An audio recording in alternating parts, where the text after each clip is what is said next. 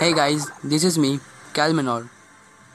Today, I am gonna show you how to complete the Go Wipe event. So let's start. That little mouse, cause I'm an albatross.